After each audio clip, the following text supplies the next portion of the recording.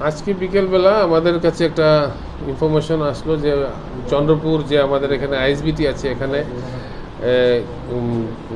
দু- তিনজন সন্দেহজনক লোকের গতিবিধি দেখা গেছে। তারপর আমাদের সাব ইন্সপেক্টর কৃষ্ণনন্দন দেবনাথ এবং আমাদের ইন্টেলিজেন্স ইনপুটের উপর বেস করে আমরা এখানে তিনজন লোককে আমরা আটক করেছি বিকেলবেলায়। তার ভেতরে আপনার একজনের নাম হচ্ছে মোহাম্মদ সিরাজুল শেখ আরেকজনের নাম হচ্ছে মোহাম্মদ আলামিন আহ, এলিয়াস জুয়েল। একজনের বাড়ি হচ্ছে বাংলাদেশের রাজশাহী ডিস্ট্রিক্টে আরেকজনের বাড়ি হচ্ছে বাংলাদেশের সুনামগঞ্জ ডিস্ট্রিক্টে।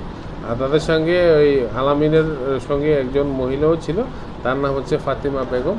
সেও ওই জায়গাতেই সুনামগঞ্জ ডিস্ট্রিক্ট বাংলাদেশ ওই জায়গাতে বাড়ি। তারা অবৈধভাবে ভারতে প্রবেশ করেছিল।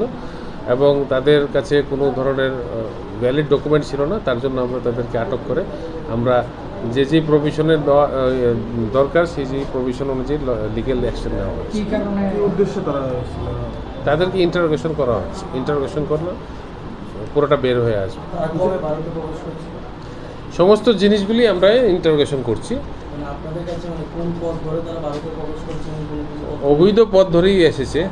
কিন্তু সমস্ত জিনিসগুলি আমরা ইনভেস্টিগেশন করার পর তাদেরকে ইন্টারোগেশন করার পরে বেরিয়ে আসবে। কোন দিকে যাওয়ার উদ্দেশ্য ছিল অবৈধভাবে এসে অবৈধভাবে বসবাস করার উদ্দেশ্যই ছিল তাদের।